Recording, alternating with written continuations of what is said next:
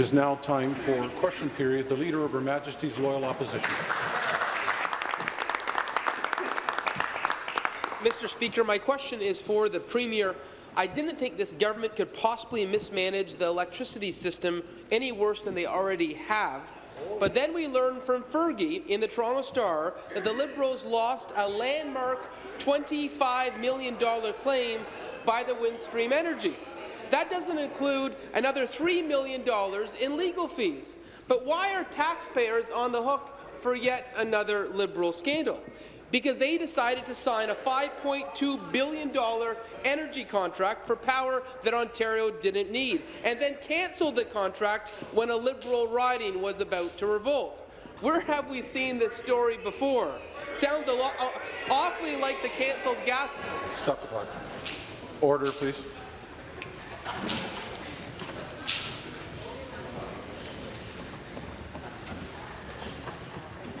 Please finish. Everything's a joke. Mr. Speaker, where have we seen this story before? Sounds a, Question? very similar to the gas plant scandal. So, Mr. Speaker, my question to the Premier is, when will they stop thinking about saving Liberal seats and actually think about hydro Thank you. ratepayers in the province of Ontario? Very much, Mr. Speaker. And I know the Minister of Energy will want to uh, speak the to the supplementary, but um, just on the uh, issue around Windstream and the tribunal decision, Mr. Speaker, I can confirm that Ontario has been advised of uh, the tribunal's decision. The tribunal dismissed the majority of claims made against Canada Ontario. I think uh, that's important, Mr. Speaker. And the final award was significantly less uh, than damages that were being sought by Windstream. Uh, Mr. Speaker, we're looking at the the decision, and we understand that Canada is doing the same in order to determine if there are next steps to be taken. Mr. Speaker, we are um, we're taking a cautious and a responsible approach to offshore wind to allow for the development of research and coordination. Um, that's why there's Order. a moratorium on offshore uh, wind development, Mr. Speaker. And the Ministry of the Environment is finalizing research on the issue, including decommission requirements Answer. and noise over water. Those are issues that need to be resolved, Mr. Speaker, before we go forward. Thank you. Mr. Speaker, uh, back to the Premier, and the government may want to ignore Rob Ferguson's headline on this scandal, but you know what? The headline was also in the Ottawa Citizen with David Reevely, and it said, plain as day, Ontario to pay another $28 million for not producing electricity, this time from a U.S. wind farm. Yet again, there is nothing new with this Liberal government and their failed hydro policies. They have already given away $6 billion of energy since 2009. Ontario has been powering New York and Pennsylvania for years. Now we are paying U.S. companies to produce nothing, to produce no electricity. Mr. Speaker, enough is enough. When will this government learn? Directly to the Premier, why is it fair for Ontario families to pay for your scandals and bad contracts?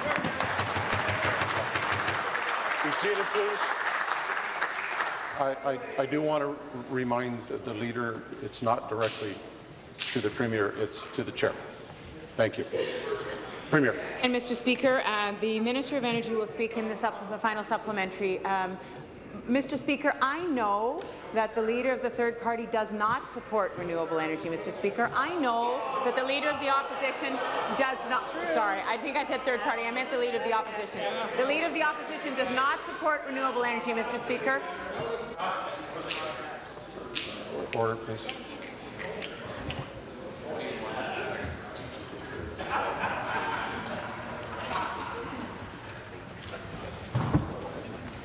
Of the Opposition does not, in fact, acknowledge that there is a lot more that we have to do to reduce greenhouse gas emissions in this uh, province, Mr. Speaker, and that the shutting down of the coal-fired plants was the single largest initiative that uh, has been accomplished and been completed in North America, Mr. Speaker. We are going to continue Answer. to work with the renewable industry, Mr. Speaker. Tens of thousands of jobs have been created, and we will continue to make sure that we have a clean electricity grid in Ontario.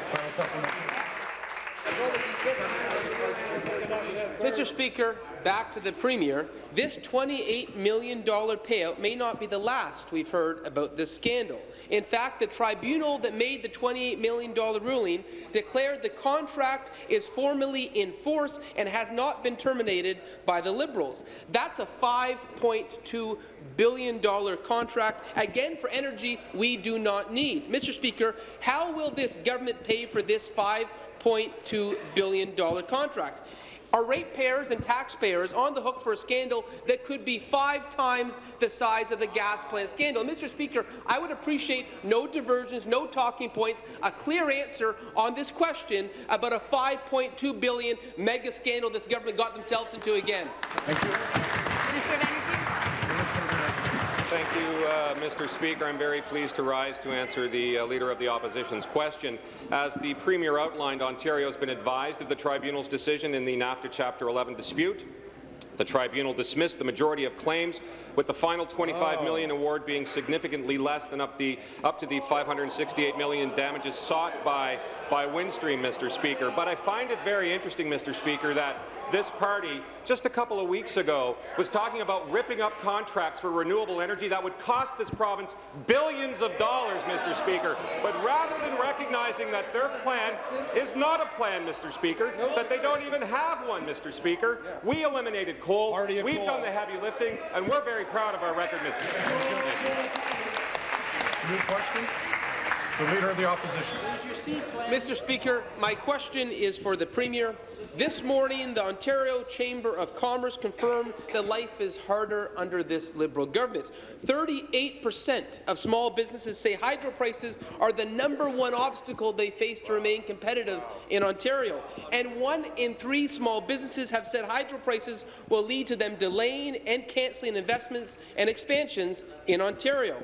This Premier and this government has lost touch with Main Street, Ontario, and the hardworking people that create jobs. Mr. Speaker, how many more small businesses will have to close their doors before this Premier realizes her energy policies are reckless, out of touch, and dangerous for Ontarians?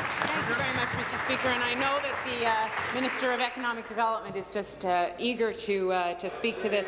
But, Mr. Speaker, let me let me just say that we're very sympathetic to small businesses in the province. And in fact, Mr. Speaker, in the throne speech, you will know that one of the prongs of our uh, of our plan was to expand the access to the uh, the Industrial Conservation Initiative to smaller businesses, so that not only the 300 businesses that had access, but another thousand order. businesses would have access. But, Mr. Speaker, the reality is that our economic growth across Ontario is uh, outstripping that of uh, other parts of the country and and North America, Mr. Speaker. And in fact, uh, in fact, um, almost all of the G7 countries, Mr. Speaker, did not see as high real GDP growth as Ontario has, Mr. Speaker. Answer. So we are doing better. Uh, there are jobs being created in this province by the private sector, including by small businesses, because of the conditions that we're putting in place, Mr. Speaker. Supplementary.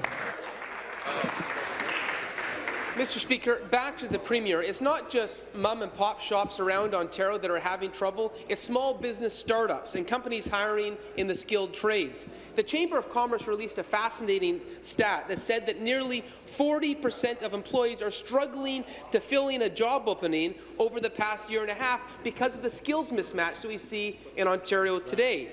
Because a company couldn't find the right person for the right job with the right qualifications. For over 13 years, this government has done nothing to address the skills mismatch in the province of Ontario. The Chamber of Commerce has pointed it out very plainly. 40% of those jobs they can't fill because you're not producing young people down the educational pathways that will lead to a job. So, Mr. Speaker, my question is, will the Liberals take this advice from the Chamber of Question. Commerce? Will you deal with the skills mismatch in the province of Ontario? Development Growth. Mr. Mr. Speaker, we don't only take the advice very seriously of our Chamber of Commerce, we've worked in partnership with that chamber for over a decade now, Mr. Speaker, to make Ontario the most uh, generous place in, in North America now when it comes to Member working with small business. There's a reason why, Mr. Speaker, we're leading the G7 in growth, Mr. Speaker, and part of that is because our small businesses, our startups, are excelling here. There's a reason why venture capital is up 251 percent, because because they're investing in our talent. Mr. Speaker, we're working very, very closely with the Ontario Chamber of Commerce. They've written a report, Mr. Speaker, that completely aligns very much with the, the work we're doing. They praised us, Mr. Speaker, on some of the things we're doing to give our small businesses breaks in, uh, in energy rates. And, Mr. Speaker, we're going to keep working with them to build a, uh, an economy that we'll be proud to pass on to our kids Thank you. and grandkids. Stop the clock. Remind the member not to hold a prop, please. That, that's not helpful at all. Final supplementary. Mr. Speaker, back to the Premier. You know, to hear Liberal ministers say that the Chamber of Commerce report is aligned with the government, it was an indictment of the government. Have they not even read the report? Minister hasn't read the report, I'll say you, I'll, I'll share with you right here in the legislature exactly what the report said. It said that small businesses in Ontario, half of small businesses in Ontario feel that Ontario is worse off than it was five years ago. Half of small businesses. Is it any wonder why they feel that way? We're a province that is mired in debt, over $300 billion in debt. We have the second highest tax burden in the country for businesses. We have grade six students failing in math, and nearly 40 businesses can't find a young person to fill the job that they need to hire. And this government thinks things are rosy. You are killing small businesses in this Question? province. And my question is, rather than saying everything is rosy, will you listen to the Chamber of Commerce for once?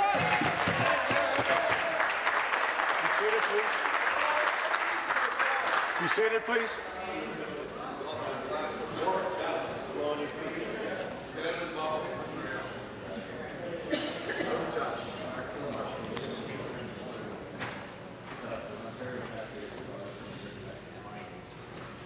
Minister. Mr. Speaker, nothing but rhetoric coming from that leader of the opposition. Nothing but rhetoric. You have no right to talk down a small business community, Mr. Speaker, that's seen as the best in all of North America. Our startups here in Ontario, Mr. Speaker, are the most sought-after startups anywhere in North America today, if not anywhere in the world. And, Mr. Speaker, when it comes to listening to our chamber, we've been listening. We continue to work in partnership with them. That's why, Mr. Speaker, we had a capital tax in this province. 2010, capital tax gone. That's why, Mr. Speaker, we lowered our, our corporate income tax down by 1%. Now, Mr. Speaker, a, a company in the U.S. is paying 13% more in capital tax than our companies. That's why we set up a Southwest Ontario Development Fund and an Eastern Ontario Development Fund. 32,000 people in this, this province, Mr. Speaker, are working because of that fund. We will continue to work with our Ontario Chamber of Commerce. We will continue to reduce regulatory burden and be a global model for reducing regulatory burden because, Mr. Speaker, we're determined to work with our Ontario. Chamber to pass on clock.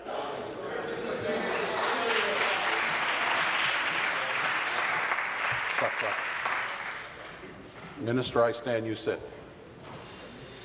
New question. Member from Kitchener-Waterloo. Thank you, Speaker. Uh, my question is to the Premier. Is the government planning to privatize e-health and Ontario's digital health assets? Mr. Speaker, there is no possibility of the sale or the commercial use of uh, people's health information. We've been very, very clear about the minister about that. The minister has said that we're looking to improve the health care uh, and service that patients receive as part of a digital uh, strategy moving forward. Mr. Speaker, the Minister of Health wrote to Ed Clark seeking expert advice to assess the value of Ontario's digital health uh, system, Mr. Speaker, and program its assets and all the related intellectual property, Mr. Speaker, uh, and the infrastructure in which we have invested uh, over years. Um, the e-health mandate, and I don't know if the uh, member opposite knows, but the, the mandate of, of eHealth Ontario expires at the end of 2017. So we believe that we've presented, been presented with an opportunity to, uh, to determine the, uh, the result of the investments that have been made, Mr. Answer. Speaker, and to determine if there are changes that need to be made and uh, what the value of those investments has produced, Mr. Speaker. Thank you. Supplementary. Thank you. And yet, the Minister of Health wrote to Ed Clark last week asking him to look at e-health specifically because of his experience in valuing public and private assets. Let's be honest, his experience in valuing public assets means selling public assets. After all, in 2014, when the Premier asked Mr. Clark to maximize the value of government business enterprises, we know that that was a public relations-friendly way of saying sell off Hydro One. Is this Premier looking for a way to hide a Liberal plan to privatize digital health assets? Thank you. No. No, Mr. Speaker. And I will say that uh, Canada Health Infoway has estimated roughly a billion dollars in annual benefits to Ontario as a result of the investments that have been made in eHealth Ontario, and almost $6 billion in cumulative benefits since 2007. So, Mr. Speaker, it's true that the Minister of Health has asked Ed, because Ed Clark, because of his experience, to do an assessment of, uh, of the results of those investments, Mr. Speaker. I think it's responsible as eHealth reaches the end of its mandate in 2017 that we understand the value of those investments, Mr. Speaker, and we look at whether there is a way to, uh, to uh, understand the value of those digital assets and move towards a new vision for digital health in Ontario. Mr. Speaker, the, uh, the member opposite lives in the Waterloo region. She knows how fast technology changes. She knows how important it is that we keep up and make the best decisions on this digital strategy. That's what this assessment is about, Mr. Speaker. Final supplementary. Thank you. Uh, the people in Waterloo Region also know high, how high their energy costs are, for sure, Mr. Premier. On October 21, 2015, the Premier stood right there in her place, and she said, we're not selling off the assets. Less than a month later, Ed Clark said it was a bold step. It showed political courage to sell Hydro One. This is why people have a hard time believing that this Premier isn't planning to spring another false surprise on the people of Ontario. Should Ontarians be getting ready for another, another Liberal sell-off? No, Mr. Speaker, um, as I said, we uh, the Minister of Health has asked Ed Clark to do an assessment of eHealth Ontario in much the way I will use the, the example of the LCBO, Mr. Speaker. Ed Clark did an assessment of the LCBO. There are changes that are being made to the, uh, the liquor laws in this province, Mr. Speaker. There are changes that have come about as a result of the work that Ed Clark uh, did, Mr. Speaker. But there is no there is no sell-off of, uh, of that asset. So, Mr. Speaker, we're going to look at e-health, We're going to look at the work that's been done and look at the investments that have been made and what the results are, Mr. Speaker, and understand how we move forward to make sure that people in this province have the best digital health strategy possible, Mr. Speaker. They deserve that. We need to keep up, and we need to make sure that we leverage all of the uh, all of the technology Answer. that is available to people in the 21st century and make sure it works for the people of the province and their health care. Thank you. New question. The member from Kitchener-Waterloo. Thank you. Again to the Premier, Mr. Speaker. There's a big difference between the LCBO and people's medical records in this province of Ontario. And it's not, it's not just New Democrats that have these concerns. On Thursday, the Ontario Medical Association wrote to Ed Clark saying, we are particularly concerned to read in media reports that the government may be seeking to monetize this data-gathering ability for profit. Will the government rule out privatizing people's confidential medical records? Mr. Speaker, I'm very pleased. You know, I saw the letter from Virginia Walley. I'm very pleased that the OMA uh, agrees with us that patient information is not and will not and never should be uh, up for sale, Mr. Speaker. I think that is uh, that's a fundamental and a given that we should all agree to in this House, Mr. Speaker. But at the same time, there has been a huge investment in uh, e-health. We know from uh, an initial report from Canada Health Inf Infoway that uh, an estimated a billion dollars in annual benefits to Ontario as a result of the investments that have been made, and almost $6 billion in cumulative benefits since 20, 2007, Mr. Speaker. So we need to make sure that we understand the value of what has been produced because of those investments. We, uh, we need to understand how we can move forward to provide the best digital health service, the best digital Answer. strategy for the people of Ontario. That's the work that we're doing, Mr. Speaker. Thank you. Supplementary. Thank you, Mr. Speaker. You cannot blame the people of this province for having serious trust issues when this government starts talking about privatization. And it's not just New Democrats, it's also the Ontario Health Coalition who have concerns. After reading the minister's letter, the coalition said they are, and I quote, deeply concerned that the bias of this valuation exercise will be towards for-profit privatization. And again, I quote, they say the privatization of patient records puts the confidentiality of patient records in jeopardy of being compromised. Will the government rule out privatization of medical records and not go back on your word later on? Mr. Speaker, I've done that. I have ruled that out. I've said that you know we uh, we agree with uh, with the member opposite that uh, patient information, uh, people's health information should never be compromised, Mr. Speaker, and we agree with the OMA that patient information should not be up for sale. At the same time, Mr. Speaker, there may be opportunities to partner or work with others in medical, hospital, and related sectors to build on the assets that have been created by the uh, investments that have been made by the, uh, the people of Ontario, Mr. Speaker, and, and find ways to serve people and patients even better. Mr. Speaker, we have, uh, we have a, a, minister in government, the Minister of uh, Advanced Education, who has responsibility for a digital strategy government-wide, Mr. Speaker. We want to make sure that everything we're doing in the healthcare sector, Answer. Mr. Speaker, provides the best digital strategy, the best digital service, and the most efficient for the people of Ontario in their health care, Mr. Speaker. Final supplementary. Thank you, Mr. Speaker. Well, this government also said that they would not sell off Hydro One, and they went ahead and they did that as well. It's not just doctors and the Health Coalition. Hospital workers say, and I quote, health records are confidential, containing information that should be not be plucked for its potential asset value to the provincial Liberal government. The Premier doesn't have a mandate to privatize health records from Ontarians, and it's clear doctors are worried, healthcare workers and advocates are worried, and hospital workers are worried, and they have good reason to be worried. Who has given this Premier a mandate to privatize digital healthcare in the province of Ontario? Responsible for digital government. Minister responsible for digitization. Well, thank you, Speaker. And let me be abundantly clear. E-health is not for sale. Personal health information is not and will not be for sale, Speaker. But let's take this opportunity to see the progress that has been made as a result of e-health. Order. A decade ago, member only 770,000 Ontarians had access to EMRs. Now it's over 10 million, Speaker. Uh, trauma patients have access to neurosurgery 24 hours a day, seven days a week. Telemedicine, remote clinical consultations are over half a million each year, Speaker. People are getting the care they need where they are where they live, not where the physician is, where the specialist is. Speaker OLIS, uh, almost 3 billion uh, lab, uh, lab results, 9.5 million Ontarians. E-health has made a profound difference in the health care, and we need to make sure we're doing it to Thank its you. max, Speaker. New question, the member from Renfrew, Thank you very much, Speaker. My question is to the Premier. But she may want to pass this on to the Minister of Infrastructure.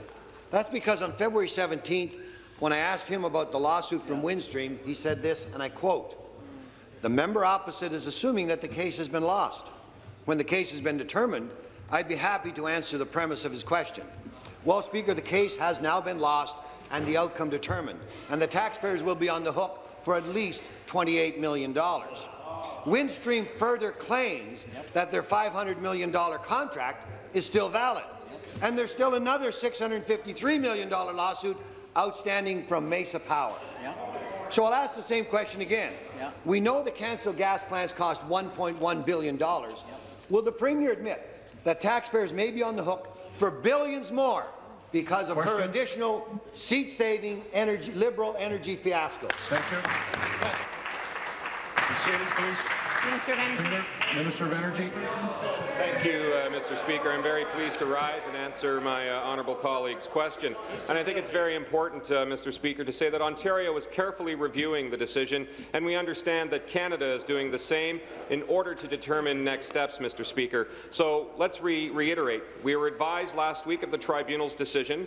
Uh, the tribunal dismissed the majority of claims, with the final 25 million award being significantly less than up to the 568 million in damages sought by Windstream. And Mr. Speaker, the decision to place a moratorium on offshore wind is one our government still believes is correct, and that's why we're going to continue to take a cautious approach to offshore wind, Mr. Speaker, which includes finalizing research to make sure that we are protective of both human health and the environment, Answer. Mr. Speaker. Thank you very much, Thank Mr. you. Speaker. Supplementary. Well, the PC party maintained there would never be offshore wind in the Great Lakes, and if they'd have made that decision, you wouldn't be in the courts. Yep. Once again, the Liberals irresponsibly tried to save seats in Scarborough and Kingston, and the taxpayers are left with the bill. And when the final cost is eventually revealed, it is always much worse. Remember when cancelling the gas plants was only going to cost $40 million, Speaker? And then there's Trillium Wind Power Corp, a lawsuit that is ongoing because the government once again deleted emails and destroyed evidence. Dodge denied. That lawsuit, as a result of Liberals playing politics, is for $2.25 billion. Speaker, we now know that the gas, cancelled gas plants cost over a billion dollars. Will the Premier admit that the Ontario taxpayers could be on the hook for billions more because of your energy mismanagement? Dodge denied delete. Be seated, please. Be seated, please. Minister. Thank you, Mr. Speaker. And again, I'll reiterate, Ontario is carefully reviewing the decision, and we're working with uh, the Canadian government and doing the same to uh, determine our next steps. But as the, uh, the uh, uh, member from the opposition mentioned, Mr. Speaker, that they would have never invested in renewables. Exactly that, Mr. Speaker. They would invest in coal. PC pro-coal party, Mr. Speaker. We eliminated coal. We've done the heavy lifting on this side, Mr. Speaker, and we are very proud of that record. And we will continue to look at ways to actually save our ratepayers' money, Mr. Speaker. We did that by suspending the LRP2, Mr. Speaker, and this is something that this party doesn't have, Mr. Speaker, is a plan on energy. They have no idea, Mr. Speaker. Thank you very much. New question. The member from Toronto Danforth. Thank you, Speaker. Speaker, my question to the Premier. United Way of Bruce Grey recently declared rural energy poverty to be a public health crisis. When rural families lose hydro, they not only lose their TV, they could lose their well pump, their drinking water, their toilet, the necessities of life. United Way found that in urban areas, the average hydro bill arrears is $700. But in rural areas, the average arrears is over $1,200. But the maximum relief available to rural families who heat with electricity is just $600. Last month, the government promised rural rate relief, but we now know that most rural families will not get this relief. Will the government at least increase emergency assistance for rural families Question. who face skyrocketing hydro bills? Thank you. Premier. Minister of Energy. Thank you, Mr. Speaker, and I'm very pleased uh, to rise and answer the question from the member from the third party. Um, rural rates is something that we've identified as an issue because we've been hearing from Ontarians over the last several months, Mr. Speaker, and that's why we brought forward uh, an increase to the triple RP in our speech from the throne. 330,000 families across the province will benefit from this, Mr. Speaker. They will see a significant savings on top of their bill. We also have six programs in place, Mr. Speaker, six programs that will help these families specifically families, seniors that uh, you know live in rural areas, seniors that heat their homes with electricity. They can see up to $75 a month, Mr. Speaker, on top of the other programs that we have, and in addition to the um, to the 20% that they'll see off the Answer. reduction through their triple RP, Mr. Speaker. We know this is an issue, and we've identified it, and we've acted on it very quickly, Mr. Speaker. Thank you very much. Supplementary. Big deal. Well, Speaker, again to the Premier. A family that heats with natural gas and is struggling to pay its energy bills can get up to $500 to help pay their natural gas bill. And they can get another $500 to help pay their hydro bill. That's a total of 1,000 in emergency assistance for struggling families living in areas with natural gas. But rural and northern families who do not have access to natural gas and must heat with electricity have access to a maximum of just $600 in total emergency assistance. Rural and northern families already have the highest energy bills in the province. Why is their total emergency assistance capped at $400 less than what exists in urban areas? Thank you, Mr. Speaker, and I'd like to thank the honourable member for uh, pointing uh, some of those facts out, Mr. Speaker. It is important for me to say we're looking at every possible opportunity to help families right across the province, and I should emphasize, Mr. Speaker, that there is the LEAP program that I believe he mentioned at the $600 uh, uh, amount for helping families, but there is also uh, on the electricity side, Mr. Speaker, uh, up to $75 a month for, for seniors and those who heat their homes with electricity, and that's most of those folks that live in northern and rural areas, Mr. Speaker. So when you add that all together, Mr. Speaker, on top of the Northern Ontario tax rebate program, Mr. Speaker, and eliminating the DRC. We've done a lot to ensure that we're helping families uh, in rural and northern uh, communities, Mr. Speaker, but we'll make sure that we continue to look at ways that we can continue to help, Mr. Speaker. That's been uh, part of my mandate since I've taken over this uh, portfolio over 120-some days now, Mr. Speaker, and we'll continue to find ways to help families right across Thank the you. province. Thank you, Mr. Speaker. New question, the member from Kitchener Centre. Thank you, Speaker. My question is for the Minister of the Environment and Climate Change. Speaker, we know that water is a precious resource and Ontario is truly blessed with it. Over the summer, communities across the province experienced drought conditions, and in some areas it was quite severe. It raises concerns about our water resources and water security. Last month, the Premier and the Minister of the Environment and Climate Change announced that the government will be taking a closer look at water management across the province. This is an important issue for all Ontarians, and we want to ensure that we address this by taking a rational, evidence-based approach and respond to community concerns. Now, today the announcement was made on the completion of that review. Speaker, could the minister please inform the House Question? of the details of that announcement? Thank you. Minister of the Environment and Climate Change. Thank you. Uh, thank you very much, Mr. Speaker. I want to thank the member uh, from Kitchener Centre because she played a very significant role in this. She comes from a water-stressed uh, area of the province, as uh, does the President of Treasury Board, the member for Guelph. And I also want to thank the Premier. It's always helpful when you want to do something when the Premier directs you to do it. Things move quite quickly, and only a couple of months after that direction, here we are uh, with a moratorium for two years, Mr. Speaker, that uh, will ensure that there are uh, no new expansions and no new capacity increases while we review in detail to look at the issues that have arisen with climate change and other matters of local water security and concern, important to residents, Mr. Speaker, our farm community, and many of our businesses. Um, the rules will also be upgraded for existing water pumping, which will require greater scrutiny, greater str- science, and we will be reducing the permitting period from 10 to 5 years, Mr. Speaker. Thank you. Supplementary. Thank you, Mr. Speaker. I'd like to thank the minister. I know he cares passionately about this issue. Today's announcement clearly demonstrates that this government is committed to protecting the environment, specifically our groundwater resources. Ontario's drinking water continues to be among the best protected in North America, and you can see this from our strict health-based drinking water standards to comprehensive legislation that does protect water resources. There is a safety net that ensures the quality of our drinking water. Today's announcement further safeguards this precious resource. Speaker, could the minister please offer more insights on today's announcement and also information on how we can encourage all Ontarians to choose tap water whenever possible, which is safe, reliable, cost-effective and convenient? Thank you. Minister.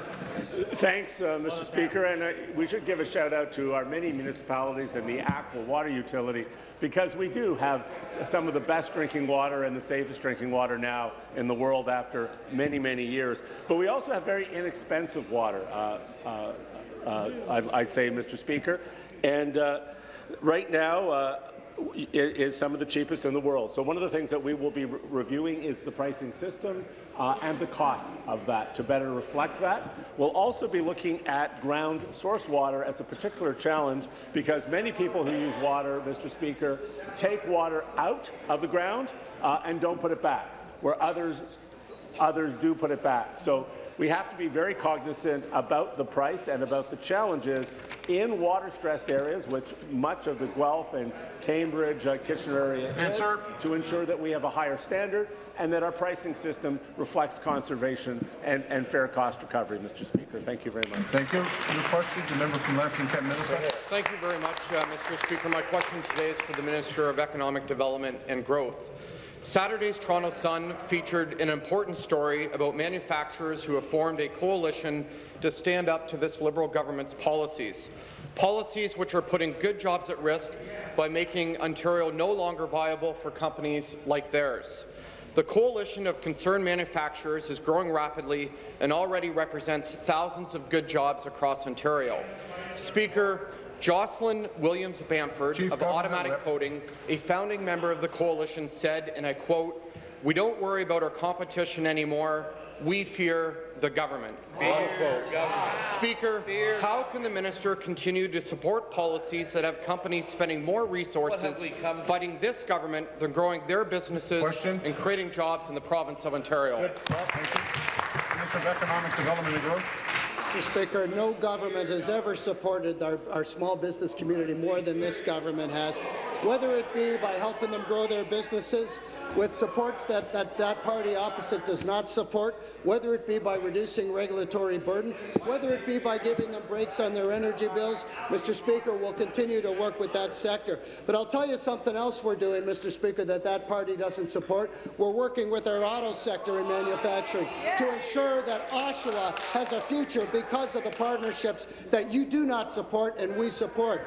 Because Brampton's uh, FCA auto plant has a future because of the investments we're making in our auto sector, Mr. Speaker, investments that that leader and that party call corporate welfare. Mr. Speaker, we're going to keep investing with our, our manufacturing partners. We're going to keep growing this economy, and we're going to keep leading this country in growth. Thank you. Supplementary. Well, Speaker, back to the Minister of Economic Development and Growth. The Coalition of Concerned Manufacturers has a clear message for this government. Better than giving us money would be policies that aren't bankrupting us. Speaker, this coalition, like thousands of businesses across the province, aren't looking for government handouts. They simply want policies that aren't designed to run them out of town. Speaker, the Liberal government has lost over 300,000 well-paying manufacturing jobs. Is it time to admit that this government's policies of expensive energy, overregulation and high debt has led to hundreds of companies choosing to leave this province? Mr. Spe- Mr. Speaker, the opposite is actually true.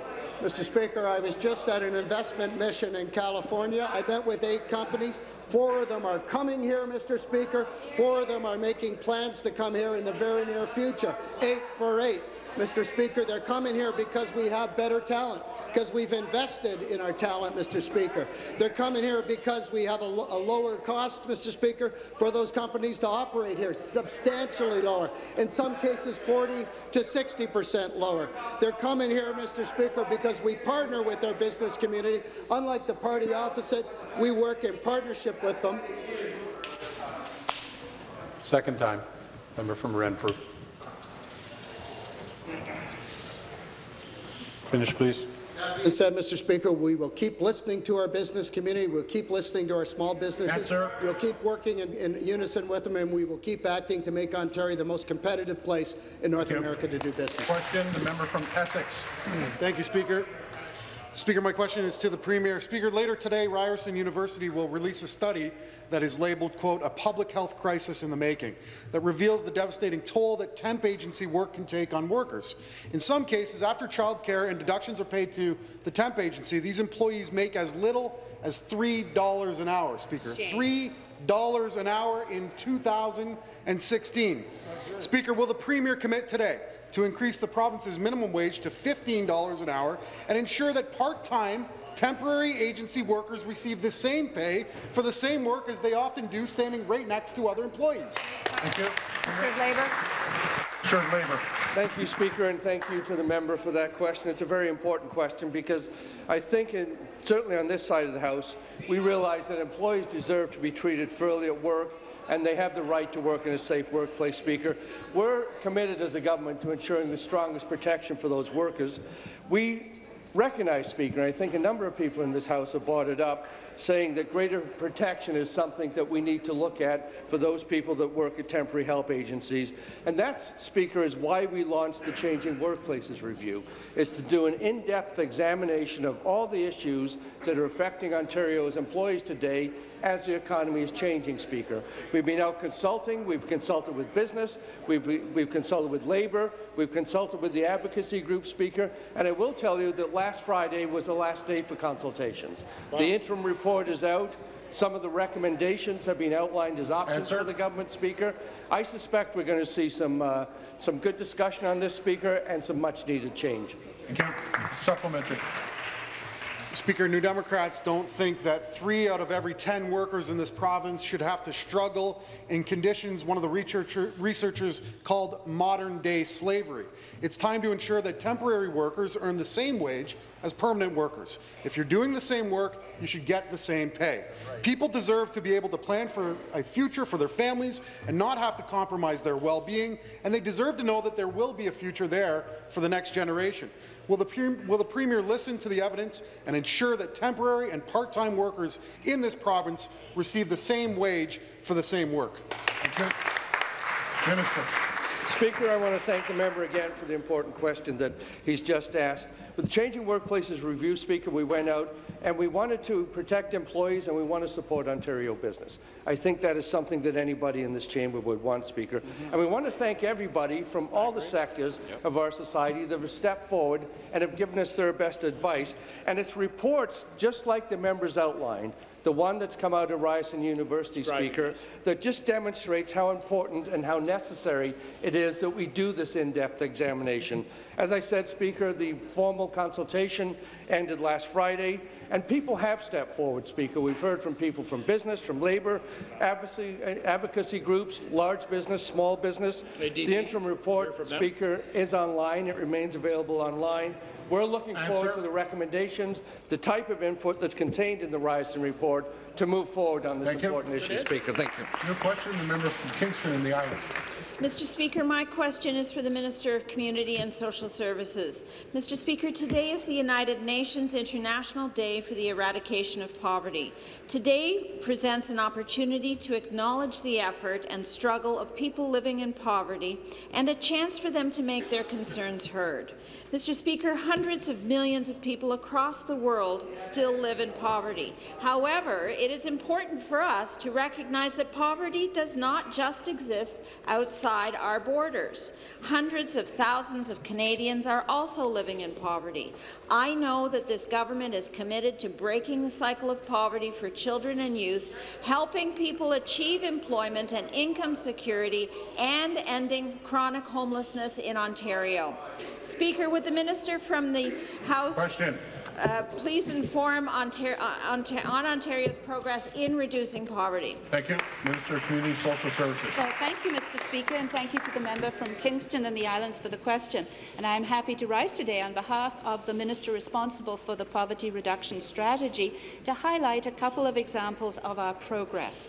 In 2015, we indexed the Ontario Child Benefit to inflation. As a result, the maximum benefit rose to $1,336 per child under 18, supporting nearly 1 million children in more than 500,000 low to moderate income families. Also, through the Healthy Smiles Ontario program, we are providing access to free preventive, routine and emergency dental services to over 300,000 low-income children and youth. Of course, there's more work to be done, and we must continue to work with all of our partners, including businesses, communities, advocates and service delivery agencies to find Answer. sustainable and meaningful ways to eradicate poverty poverty. Supplementary. Thank you, Minister. I'm glad to hear the progress our government is making in reducing poverty in Ontario. Speaker, I understand that one of the four pillars of Ontario's new poverty reduction strategy is investing in evidence-based programming.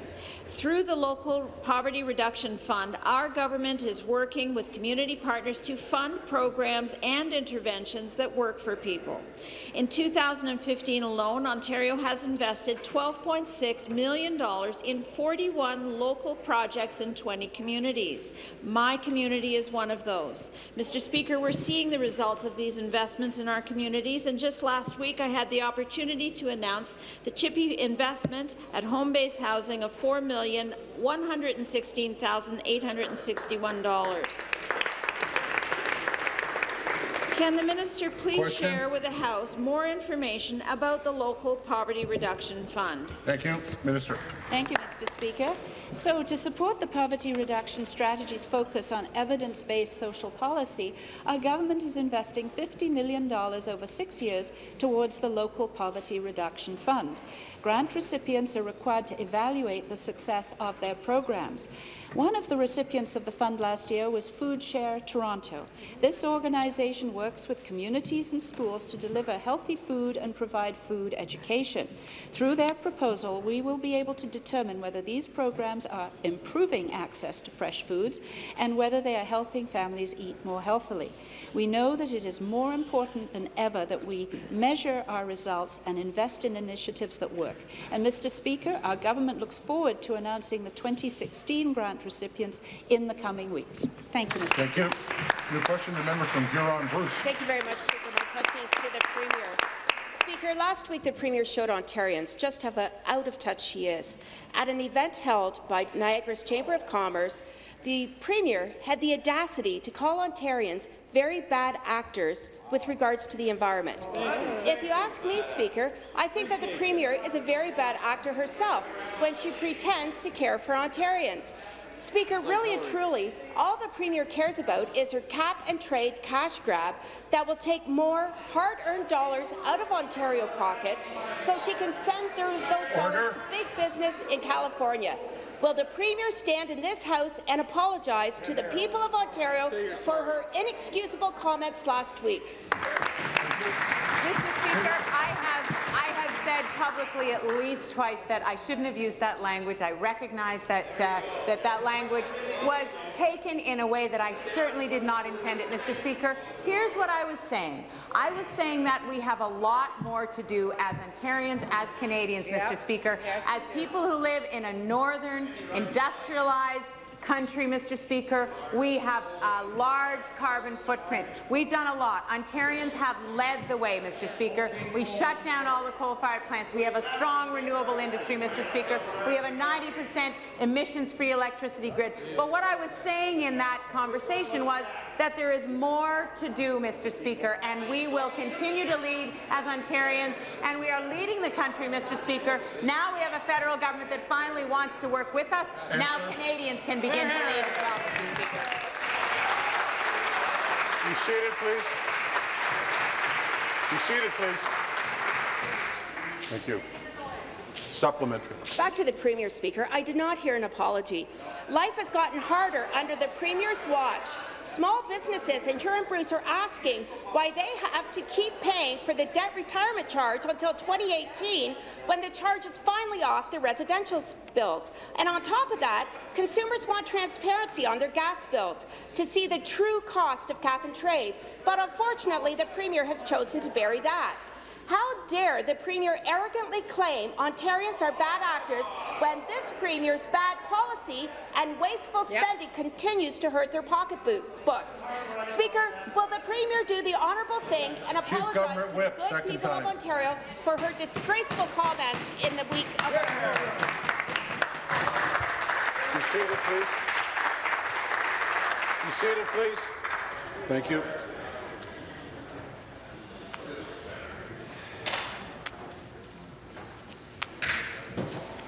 Premier. I'm very sorry that I used that language. I've said that. I've said that a number of times. I shouldn't have used that language.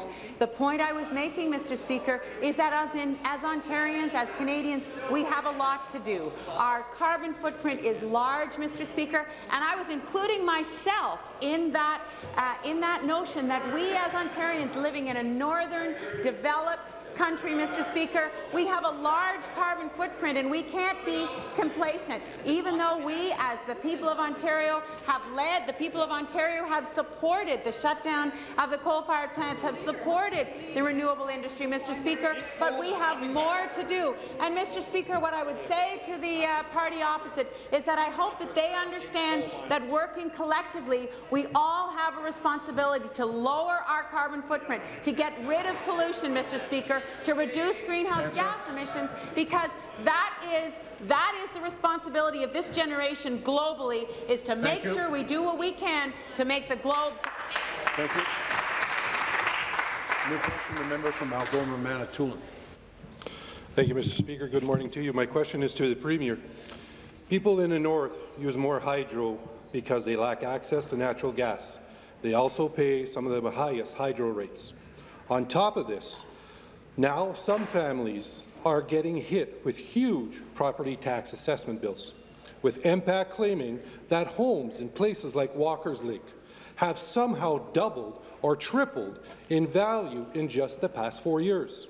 I've heard from one senior on a fixed income whose property assessment has increased from under $80,000 to over $180,000. It doesn't make sense, Premier, and she can't afford it. Will the Premier investigate these large MPAC reassessments in the north?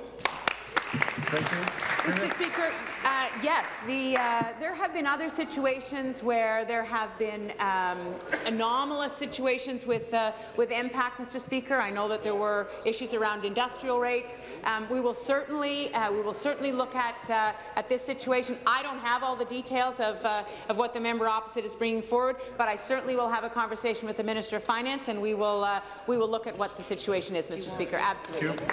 Supplementary. Thank you, Speaker.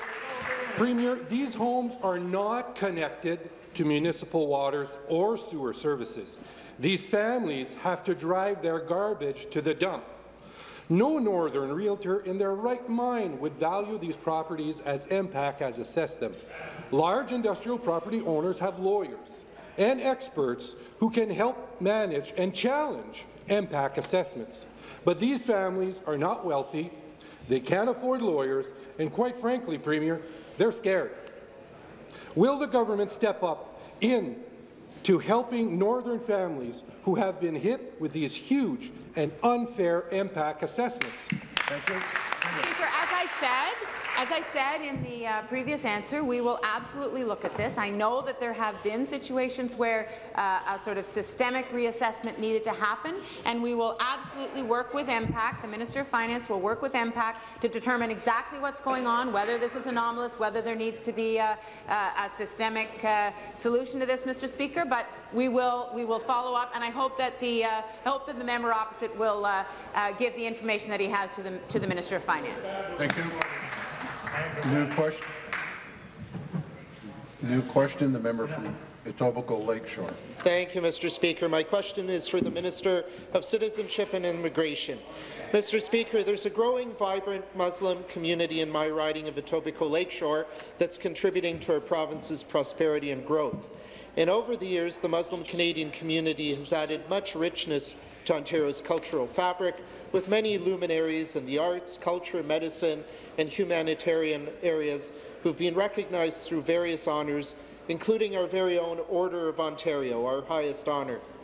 On Thursday, October 6, all three parties came together in this House to pass an important piece of legislation that would recognize October as Islamic Heritage Month in Ontario. Mr. Speaker, can the minister share how the legislation will provide uh, Ontarians the opportunity to celebrate important contributions of Canadians practicing the Muslim faith? Thank you. Minister of Citizenship and Immigration. Thank you, Speaker. I'd like to thank the dedicated MPP from uh, Etobicoke Lakeshore for his valuable question. Diversity has always played an important part in Ontario's culture and heritage. In our province is home for approximately 55% of the total people of Muslim faith in Canada. Mr. Speaker, in my riding of York South-Weston, I have the distinct honour to represent and serve a vibrant Muslim community alongside Ahmed Hussen, Canada's first ever Member of Parliament of Somali descent. I enjoy a respectful and friendly relationship with many of my Muslim Canadian constituents and regularly participate in a number of events that are uh, put on by the community and the local mosque. Most recently, for example, I had the honour to uh, participate in a barbecue that was hosted by our local mosque, Masjid, uh, Masjid uh, El Noor Mosque. By proclaiming the month of October as Islamic Heritage Month, the province Thank of you. Ontario recognizes the Sorry. Supplementary. Thank you, uh, Mr. Speaker, and I thank the minister for a response. Uh, our government is committed to uh, educating Ontarians about the rich history and heritage and culture of Canadians of the Muslim faith, as well as other uh, groups. However, systemic racism continues to create barriers that lead to unfair outcomes for racialized and Indigenous people in Ontario. As Ontarians, we know that we've made a great deal of progress on diversity and inclusion, but we still have a lot to do before racialized groups are free to reach their full potential.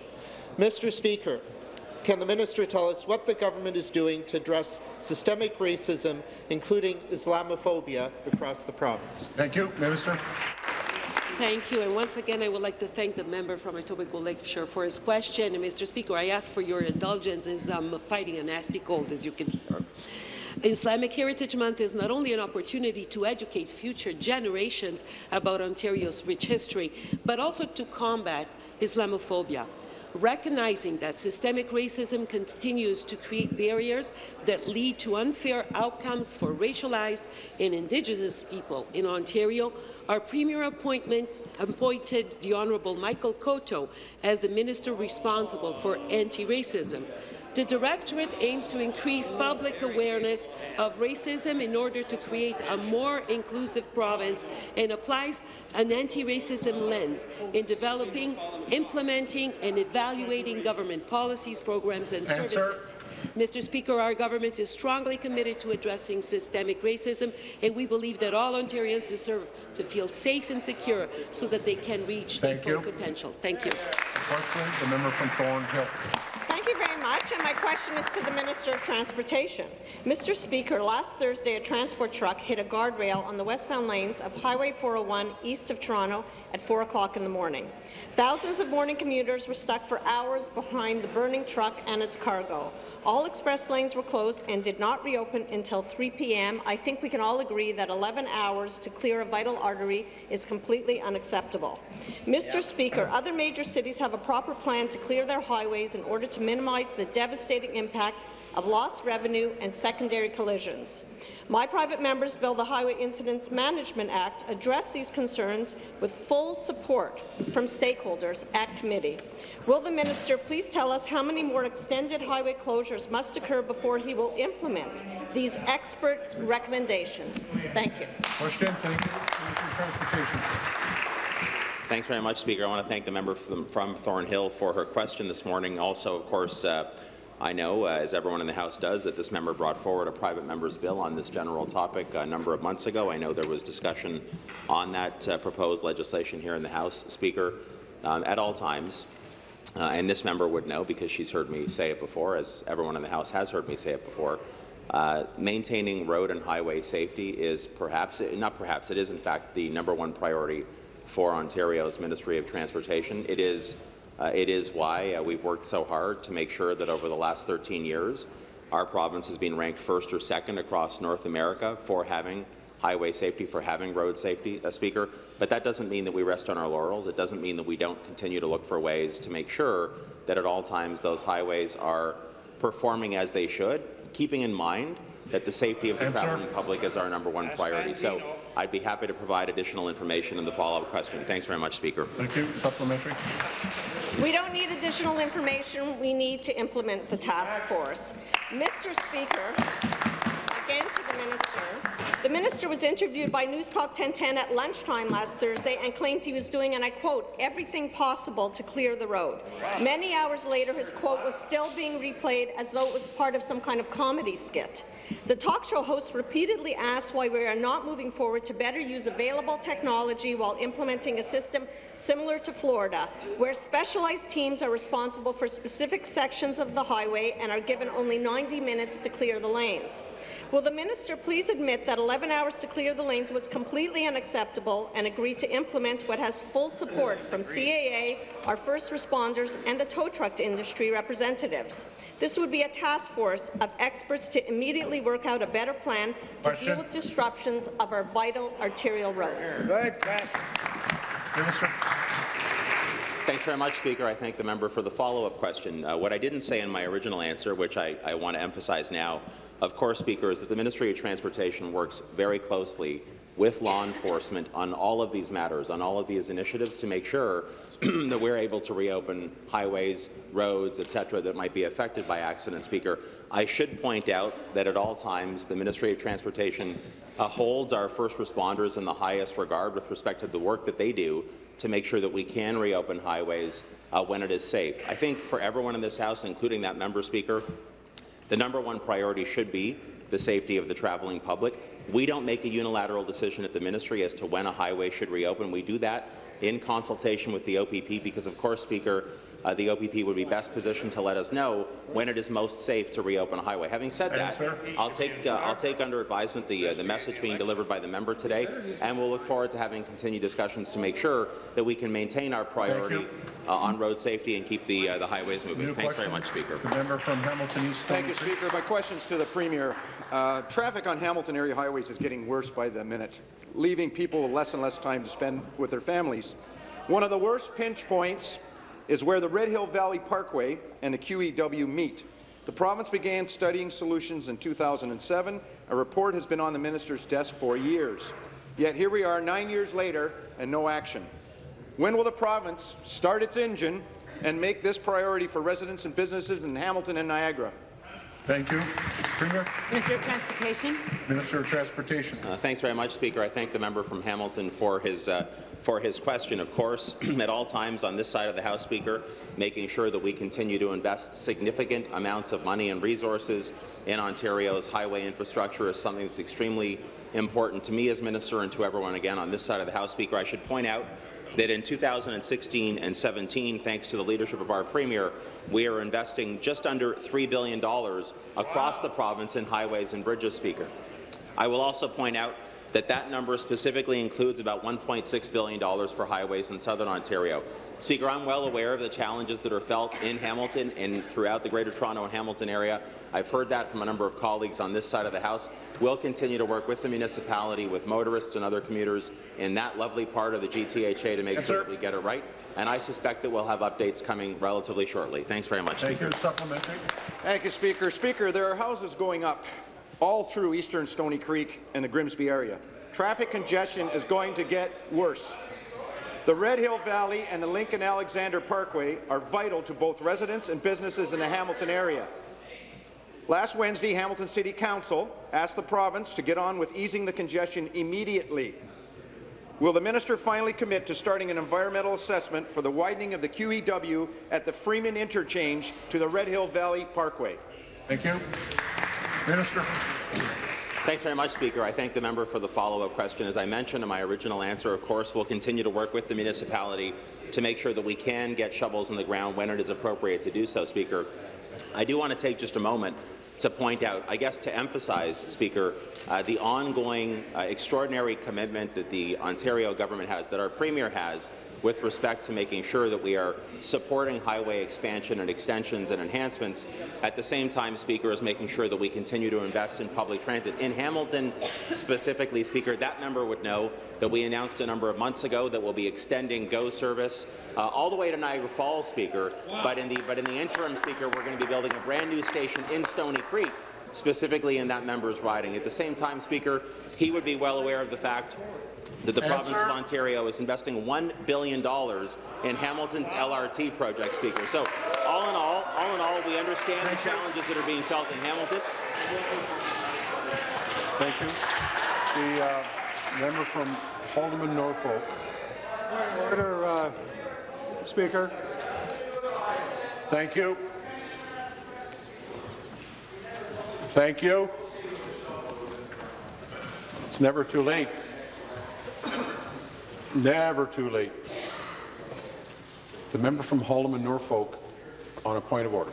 Order, Speaker. I, uh, I regret to inform this legislature that uh, former parliamentarian MPP Peter Preston, he was elected in 1995, uh, has passed away.